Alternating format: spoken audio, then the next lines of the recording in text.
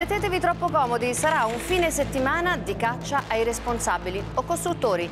Chiamateli come volete, comunque è nelle loro mani il destino di questa maggioranza. Gli ospiti sono pronti, noi facciamo le domande. Sigla.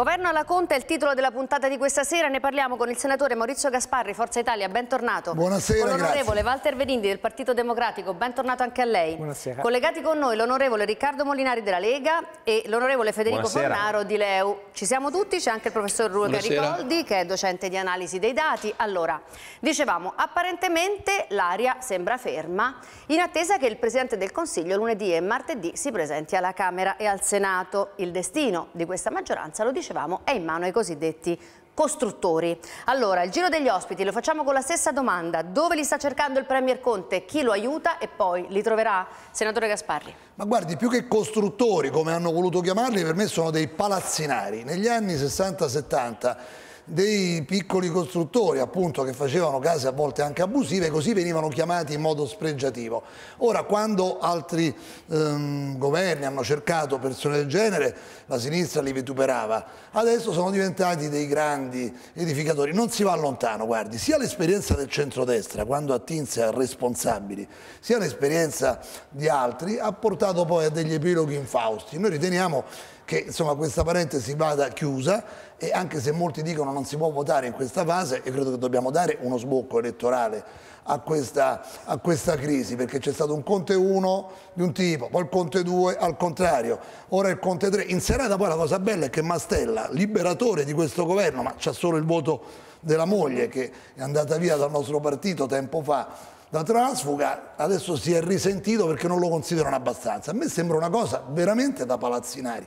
E anche il Quirinale stia attento, senza licenza edilizia con questi palazzinari poi le responsabilità ricadono su tutti.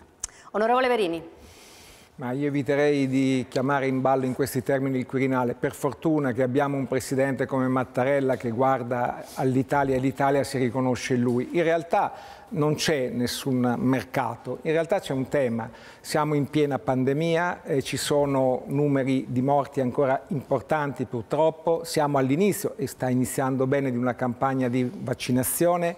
Abbiamo però un paese in ginocchio, categorie intere disperate e noi tutti, anche il Parlamento, non solo il Governo, ha lavorato per i rimborsi. Eh, ieri sera è stato approvato uno scostamento di bilancio di 30 miliardi che si tramuterà in un nuovo decreto. Abbiamo insomma in questo momento da pensare al Paese. Eh, Quindi noi anche con dei numeri Sì, diciamo, siccome però il governo a causa solida. di una scelta irresponsabile di Matteo Renzi che ha guardato più non dico il suo ego personale, ma il suo piccolo interesse di un piccolo partito ha, ha, ha, creato questa situazione, io credo che faccia bene il governo a, ad appellarsi a quelle forze in Parlamento che abbiano anche un profilo, magari possono decidere di fare un gruppo per sostenere questo eh, governo, che non sarà il miglior governo del mondo, ma certamente in questo anno ha tenuto insieme il Paese. Un'ultima cosa la voglio dire, io mi auguro anche che senatori e deputati eletti in Italia Viva e sentiamo il loro forte disagio, ma che erano stati eletti nel Partito Democratico, beh, non seguano il, il loro leader in questa avventura le cui conseguenze negative le pagherebbe l'Italia. Suona come un invito. Andrei subito dall'onorevole Molinari per sentire, vista dalla Lega, questa situazione dove li sta cercando il Premier Conte, questi costruttori o responsabili, e poi chi lo sta aiutando. Ma prima cosa sgombriamo il campo da un grosso equivoco, non è vero che con la pandemia non si può votare. In chiusura del telegiornale prima di questa trasmissione avete ricordato come in Olanda oggi sia caduto il governo e a marzo si voterà. Prima si voterà in Portogallo, poi si voterà in Catalogna, in Galles, in Scozia, quindi in paesi europei che stanno vivendo la stessa pandemia nostra. Quindi non è vero che non si vuole andare a votare. La verità, e rispondo alla sua domanda, è che ci voleva una legislatura con più di 300 parlamentari del 5 Stelle per portare la politica italiana a un livello di degrado che mai si era visto. Il fatto che oggi al Senato addirittura venga costituito un gruppo che porta nel nome Italia 23, cioè certifica come obiettivo politico quello che prima non si poteva dire, ma adesso si manifesta apertamente, cioè che l'obiettivo unico politico di alcuni colleghi parlamentari sia solo quello di arrivare a fine legislatura, è stato possibile avendo in Parlamento 300 persone che sono state elette dicendo che volevano aprire il Parlamento come una scatoletta di tonno e che ci voleva il vincolo di mandato. Questa è la grande contraddizione di quello che stiamo vivendo. È una situazione assolutamente dal punto di vista formale e costituzionale legittima, e questo lo dico perché se Conte avrà i numeri è giusto che vada avanti, ma dal punto di vista politico assolutamente inaccettabile e mi permetto di dire disgustosa. Vediamo la posizione di Leu con l'onorevole Fornaro che è collegato con noi. Lei che cosa ne pensa di questa situazione? Verranno fuori poi questi numeri e serviranno poi a portare avanti una maggioranza sufficientemente solida per affrontare questa crisi sia sanitaria che economica? Ma io credo che la domanda che, do, che, la politica si debba fare innanzitutto è che cosa serve al Paese in questo momento. La nostra risposta è chiara, ma credo che la stragrande maggioranza dei cittadini la condivida. Non servono ed è l'ultima cosa che può servire una crisi di governo al buio e tantomeno elezioni. Quindi da questo punto di vista credo che lunedì e martedì sarà un passaggio importante nella casa della democrazia, nel Parlamento italiano, ognuno di noi, ogni parlamentare, prima ancora che i gruppi politici, si assumerà la propria responsabilità di fronte al Paese, indicando sostanzialmente qual è la soluzione migliore. Vedremo, io credo che questi saranno giorni anche di riflessione, è del tutto evidente che la strada è quella di avere una maggioranza autosufficiente in grado di affrontare i problemi del Paese che sono molto gravi e profondi. E da questo punto di vista credo che sia giusto anche segnalare che lo scostamento di bilancio che ci sarà mercoledì, che consentirà poi il decreto ristoro di 30 miliardi, è già stato annunciato, sarà votato anche da Italia Viva e c'è la disponibilità da parte di tutti eh, ad affrontare il tema, perché è giusto che la politica faccia il suo corso, compreso evidentemente questa situazione di crisi, non crisi, ma non ci si dimentichi dove siamo e soprattutto di dare risposte immediate in termini di ristori alle categorie che stanno pagando di più gli effetti di questa crisi. Sì, una cosa è certa, la paralisi non ce la possiamo permettere. Professor Ricolfi, allora, lei tra l'altro ha qui il suo libro, La notte delle ninfe, come si malgoverna un'epidemia. Io le vorrei chiedere... La fuori... correggo, delle ninfe, non delle, delle ninfe. ninfe. mi scusi, sì. delle ninfe. No, sarebbe sì, più allegro se fosse delle ninfe.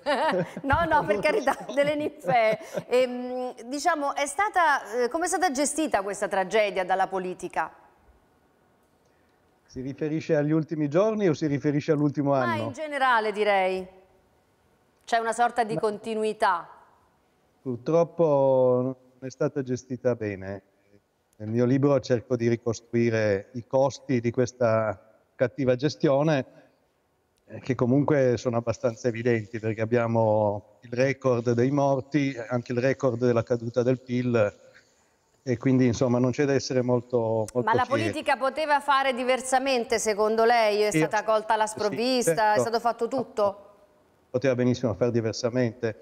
Nella prima ondata si può discutere perché diciamo per agire diversamente avrebbe dovuto essere una politica di alto livello, ma nella seconda ondata bastava studiare minimo come funziona un'epidemia per fare scelte completamente diverse. Del resto, guardate, tre, un paese su tre nelle, tra le società avanzate ha, ha, evitato completamente la seconda ondata, quindi non, non si può dire che era inevitabile, era evitabilissima, non è stata evitata perché questa classe politica ha dei limiti. E dico, per essere chiaro, che non penso neppure che eh, l'opposizione avrebbe fatto meglio, non, non, eh, non, penso ci sia una grossa differenza. La differenza che ci sarebbe stata con un governo di centrodestra, secondo me, è soprattutto una, cioè che i giornali e la informazione sarebbero state molto più critiche. C'è una, una, grande fiducia nella classe politica a prescindere dagli schieramenti. Vedo. Allora, Movimento 5 Stelle blindano il Premier e chiudono a Renzi e dicono Italia Viva è inaffidabile, mai più alleati. Le motivazioni di Matteo Renzi le vediamo in questa famosa conferenza stampa e poi continuiamo il giro. Noi abbiamo detto risolviamo i problemi che sono aperti. Questa è la politica.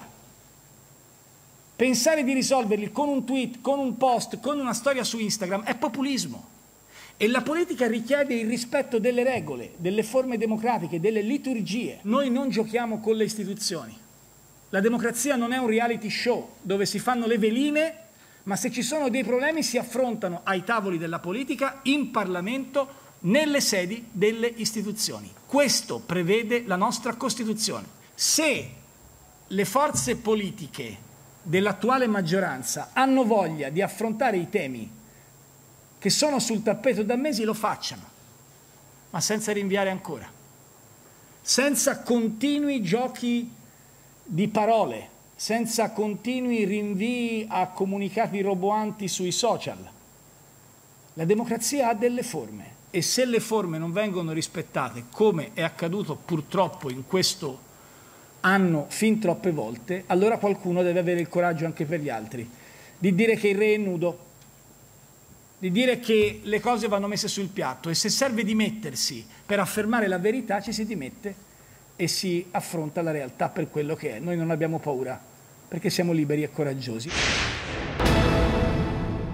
Sono tre i motivi sostanzialmente per cui Italia Viva ha dimissionato le due ministre e il sottosegretario. Riassumiamoli. Uno è il mancato rispetto delle procedure parlamentari. Secondo è la tecnica dei rinvii con la mancanza di una politica di lunga visione e poi le migliorie non considerate sufficienti al recovery tanto da mettere in dubbio la capacità dell'esecutivo di gestire i fondi in arrivo. Allora, un giro di ospiti. Renzi dice abbiamo fatto un governo contro i pieni poteri mh, invocati da Salvini ma non per conseguire consegnarli poi a Conte. È questo il problema? Guardi, Renzi è affetto da Renzi-filia, è troppo innamorato di se stesso, ha un uh, smisurato senso dell'ego. Questo signore aveva nel 2014 il 40% dei voti le riforme impostate. Era al governo, aveva un patto con l'opposizione dell'epoca per fare le riforme, dopo pochi anni sta al 3%, per farsi notare deve fare tutto questo macello. Io considero Renzi se fosse in un'azienda uno da licenziare dal 40 al 3%. Il suo ego, eh, le sue eh, contestazioni tardive. Noi quante volte abbiamo detto eccesso di DPCM, non ascolto del Parlamento, violazioni. E lui ha avallato tutto questo. Quindi voto a Renzi zero. I grillini, è stato già detto, anticasta, noi siamo la novità, alla fine stanno lì con il governo giallo-verde, col governo giallo-rosso, va bene la moglie di Mastella, lo zio di Tabacci, se ci fosse il cugino di Rumor, lo prenderemo. I grillini dimostrano che il loro l'unico interesse è rimanere lì, perché molti di loro sarebbero senza un lavoro letteralmente fuori dal Parlamento. Sono la super casta, i grillini che ha tradito il suo mandato. Il PD è abituato a stare al governo senza vincere le elezioni a volte per sua abilità, a volte per errori altrui, ma io mi ricordo nel 2011 poi sono tornati in maggioranza con Monti, alla fine in qualche modo non vinsero le elezioni un'altra volta eh, nettamente, ma fu Letta a fare un governo che poi fu accoltellato da Renzi, quindi per il PD stare al governo senza vincere le elezioni è una cosa che gli viene naturale, bisogna andare a votare perché non possiamo avere l'incompetenza grillina, lo dico anche a Ricolfi che ha detto onestamente i giornali ci avrebbero clicato di più, guardi la incompetenza di Conte, di Grillini e di altri nel gestire questa pandemia è sotto gli occhi di tutti, io sono reduce Stasera alcuni ristoratori hanno tenuto aperto oltre l'orario perché vogliono richiamare l'attenzione su loro stessi, rimborsi insufficienti, Torniamo ritardati. politica, sì. la, la, politica è questa, sono eh. i ristoranti che falliscono, le aziende abbandonate. La gestione, nonostante la montagna di miliardi messi a disposizione, noi abbiamo votato gli scostamenti, ci ha chiamato qualcuno a decidere insieme come erogare queste risorse, quindi qua il problema è fare rimanere la taverna e Fico in Parlamento, perché se no non hanno un lavoro. Basta. Onorevole Verini, allora la parte che compete ovviamente al Partito Democratico. Ehm, il nome del Premier a questo punto si è, diciamo, si è creata una blindatura intorno al nome del Premier Conte, però per tenere in piedi questa maggioranza o portare avanti il Paese il PD è aperto anche a trattative oppure non si prescinde da premier, dal Premier Conte? Guardi, Conte è stato ed è un punto di equilibrio fondamentale di questa alleanza che noi vogliamo mantenere. Le battute si fanno, non è il momento delle battute, non è il momento della propaganda.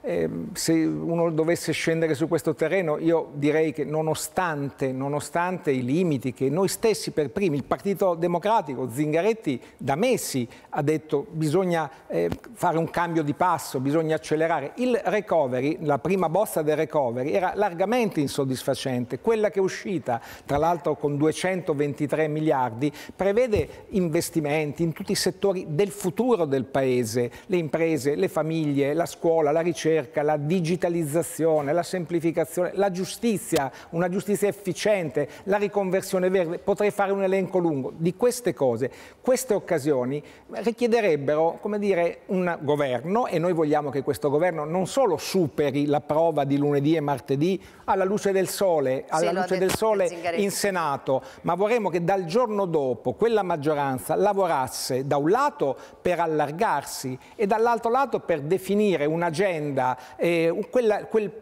patto per le riforme che ci possa condurre sì alla fine della legislatura, ma ripeto, per il Paese. Io non voglio dire a, a Molinari che se per caso ci fosse stato un governo eh, di destra in questo Paese, vede, noi stiamo discutendo e anche animatamente abbiamo discusso su come utilizzare al meglio i, i- i finanziamenti dell'Europa. Ma perché? Perché ci sono questi finanziamenti.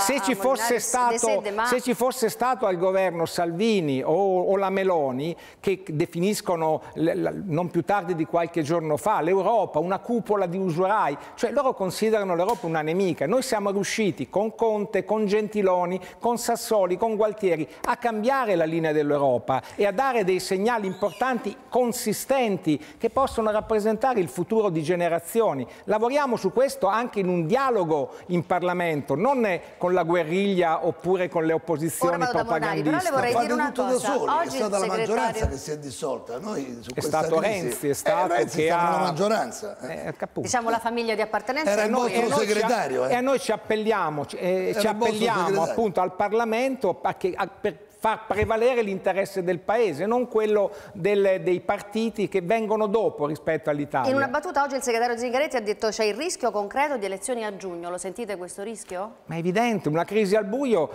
provocherebbe questo, un governo che non eh, avesse eh, una maggioranza solida, eh, evidentemente si rotolerebbe. Noi non vogliamo fare alleanze di nessun tipo con forze cosiddette sovraniste per i motivi che ho detto poco fa e quindi pensiamo che il, il rischio di elezioni Votare è un esercizio democratico, lo, lo sappiamo anche noi, ma è evidente, ma è in questo momento che l'Italia sta, deve, la, la politica, il Parlamento deve pensare, non andare a insultare i propri avversari politici, ma a risolvere i problemi dei ristoratori, dei giovani, a riaprire le scuole, magari senza il caos che c'è spesso in molte regioni. Insomma, lavoriamo insieme, governo, Parlamento, Paese. E, io, E opposizioni no? Andiamo a sentire con il pieno coinvolgimento delle opposizioni. È stato chiamato in certo, causa certo. direttamente, Molinari.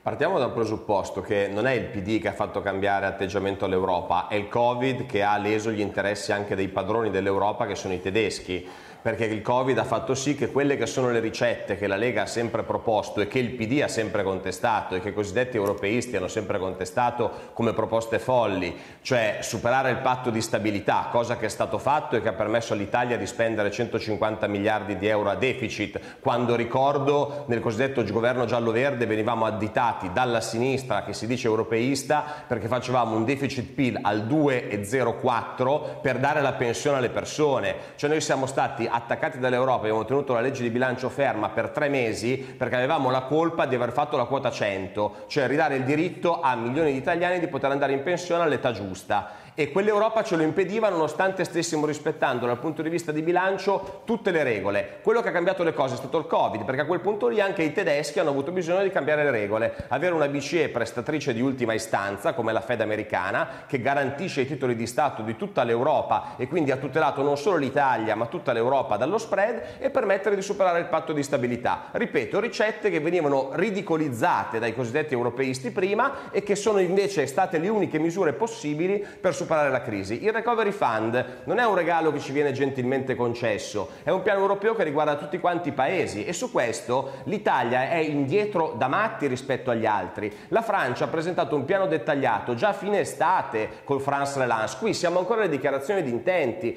Io rispetto e ho grande stima del collega Verini, è vero che l'ultima bozza è sicuramente più dettagliata del documento che abbiamo votato in. Parlamento due mesi fa, ma anche l'ultimo documento è una dichiarazione di intenti, cioè l'allocazione l'allocazione delle risorse sui temi, ma non ci sono ancora i progetti. I francesi i progetti ce li avevano a fine agosto. E questo perché? Perché è un governo che è sotto ricatto dalla differenza delle sue componenti, perché è un governo, e chiudo, che non è nato per fare qualcosa, ma è nato contro qualcuno, contro Matteo Salvini e contro il pericolo delle urne e della vittoria del centrodestra. Allora vorrei andare dall'onorevole Fornaro perché parlavamo, torniamo alla domanda iniziale, cioè eh, i pieni poteri che Renzi dice diciamo, di aver eh, invocati da Salvini e quindi ha fatto un nuovo governo, però non per consegnarli a Conte. È questo il problema, un eccesso di protagonismo nel ruolo del Presidente del Consiglio visto dall'interno?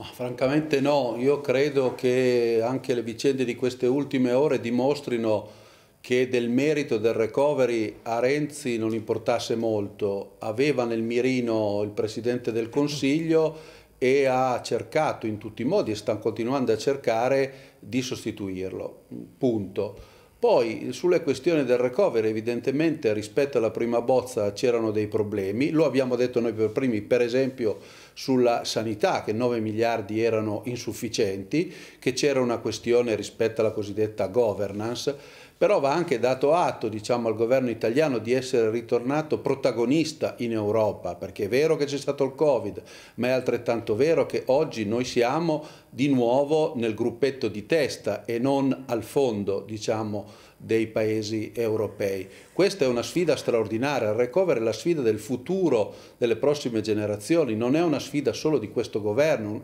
è una sfida del sistema paese, quindi io credo che nel passaggio parlamentare si possa e si debba raccogliere ancora osservazioni, proposte anche da parte delle opposizioni. Credo che questa sia la strada eh, da percorrere. Eh, poi ovviamente c'è un tema di collegialità, però insomma mi è parso evidente ed è parso evidente a tutti il carattere strumentale di una serie di accuse, salvo poi adesso annunciare l'astensione lunedì e martedì, che ha il solo scopo evidentemente di bloccare un'eventuale emorragia da parte di eh, eletti di Italia Viva che non condividono queste scelte, soprattutto le modalità eh, di governo, tra virgolette, della crisi fatta da Renzi. Io andrei dal professor Ricolfi un occhio attento al di fuori della politica per chiederle in una battuta se l'emergenza della pandemia giustifica il procedere per DPCM. No, io penso che non sia necessario. Penso che non è stato usato lo stesso metodo nella maggior parte degli, dei paesi europei il DPCM è semplicemente uno strumento che Conte si è autoattribuito per, dovere, per evitare di dover discutere con gli altri e accelerare i suoi processi decisionali, salvo peraltro usar, usarlo molto male, perché su tutte le cose fondamentali questo governo è in ritardo. Penso soprattutto agli aspetti sanitari, prima ancora che quelli economici. I tamponi, per esempio, sono indietrissimo. Nell'ultimo mese e mezzo sono stati addirittura dimezzati nel momento in cui avremmo dovuto aumentarli. Quindi i DPCM potevano anche andare bene, anche se io non ritengo fossero necessari, se fossero stati usati per accelerare le decisioni. Ma la caratteristica fondamentale di questo governo è l'immobilismo su tutte le cose fondamentali. Una e su cosa, questo, sì. Prego, finisca. Su questo, no, voglio solo dire questo eh, Renzi ha un sacco di responsabilità e la più importante è di avere creato un governo con i 5 Stelle, per cui non si può lamentare di quello che succede, eh, chi è causa del suo mal pianga se stesso. Però eh, nel merito la maggior parte delle osservazioni che Renzi ha fatto, io ho sentito tutta la conferenza stampa, sono fondate.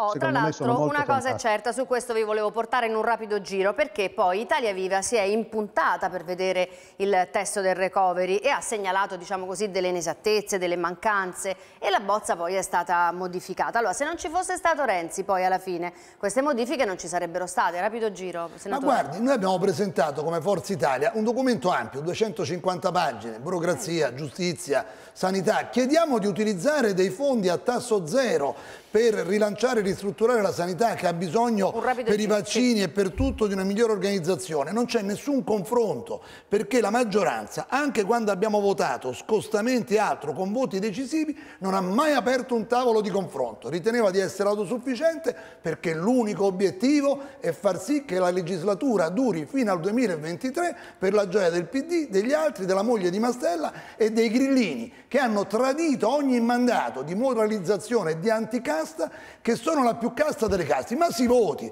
perché si ha paura? Perché si tagliano i seggi e non fa niente il destino di noi Ma che avete paura individuali. del voto? Eh sì, Marini? perché i sondaggi sono tutti chiari, no? Eh. Insisto, noi sì, siamo, ci accusano di essere subalterni, sì, siamo subalterni, siamo subalterni agli interessi del Paese, pensiamo che vengano prima degli interessi dei Ma partiti un- e in questo un governo momento, che non è in linea con la questo maggioranza- momento- in questo momento bisogna concentrarci sui problemi, degli- sulle emergenze drammatiche dell'Italia. Quanto al recovery, no, non è Renzi certamente Ha avuto il tra, merito di- tra- tra la- eh. quella sua scellerata decisione è evidente, ma è- sta qui la gravità, perché eh, molte risposte che anche Renzi, ma il Partito Democratico aveva posto, perché anche noi eravamo insoddisfatti dei contenuti, alcune proposte che Forza Italia ha fatto erano interessanti e sono interessanti, ne parleremo in Parlamento. L'EU a sua volta ha fatto anch'essa delle, delle modifiche, ma Conte, il governo su questo, aveva accolto. Allora perché a freddo, invece di raccogliere la sintesi a cui eravamo arrivati su questo e su altre questioni, si è voluta questa scelta a freddo? Un interrogativo. Allora, dopo vado da Molinari e da Fornaro, però prima voglio farvi vedere la politica oggi, la politica com'era, tribuna politica di 60 anni fa, i protagonisti. E poi ne parliamo.